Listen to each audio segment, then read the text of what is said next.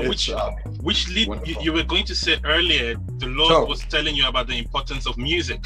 yeah, so that's where that's where I want to go to. So, I I said, what's the most important skill that I could acquire in the world?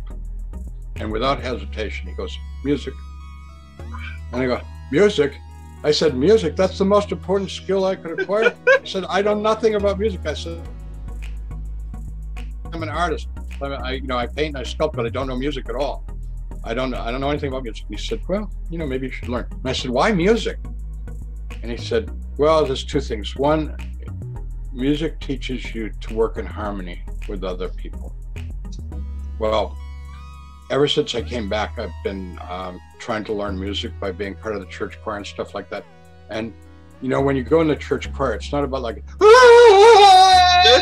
you know, it's not that at all. When you go when you go in the church choir, you have to learn to listen Yes. to all the other people and then harmonize your voice with them.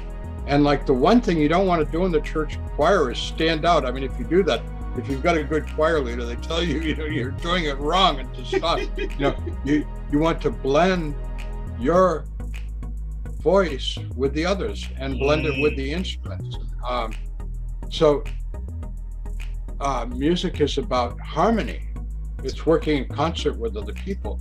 And the other thing is, is that um, there's a, a big choir in the universe called the Heavenly Choir. To ask you about It's a really too. big choir.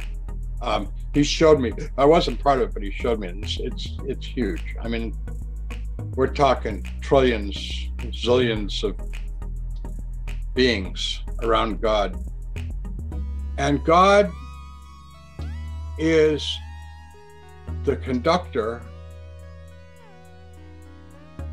But he, the reason why we are the way we are is we each bring our own instrument. Our lives are creating an instrument of praise. So I can only use uh, worldly examples, but I might be a oboe Mm. and you might be a French horn. Most likely. You bring that unique quality to the choir. I bring my unique quality to the choir. But we are in the process of praising God. So we're we're we're on the same plane, but we're all bringing our uniqueness to it. And um, it's a big orchestra, and the orchestra does two things. One, it's praising God, but because it's praising God, it's creating a vibrational state in the universe, which ultimately is the universe. The vibrational state of praising God is the universe. Now, I want to back up for a second. If you talk to theoretical physics, physicists, Yes. they will tell you that matter and energy are vibrational states of space. Wow. I want to tell the theoretical physicists, some of them would know this, many wouldn't, that the source of that vibrational state of space is God. Now, many theoretical physicists know this, that behind all of the universe and everything, there's God.